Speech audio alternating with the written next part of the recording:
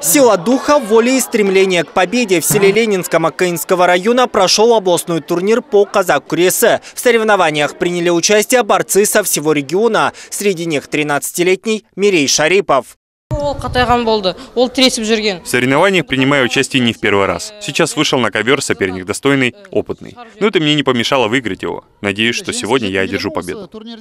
Турнир посвятили празднованию Дня Республики и памяти Руслана Аркешева, тренера, который воспитал не один десяток пауанов Акаинского района. Поддержать юных борцов приехал Алтынбек Аусагитов. Для них спортсмен провел мастер-класс. Такие соревнования были у нас в детстве. Отрадно, что дети, как и мы в свое время, горят желанием заниматься спортом. Так и они вырабатывают себе выносливость и улучшают физическую подготовку. Всего в турнире приняли участие 120 юношей. По словам главного судьи, ребята к соревнованиям подошли ответственно. Каждый надеется на яркую победу. еске алу турнирін өткізіп жатырмыз Мы облыстық рады, что турнир. казак Кюресе набирает большую популярность среди юношей. Ежегодно в этот вид спорта приходит все больше ребят. Они тренируются, набираются опыта и выезжают на соревнования, где занимают места. Сегодня в турнире участвуют 7 команд. Из них 4 приехали из Петропавловска.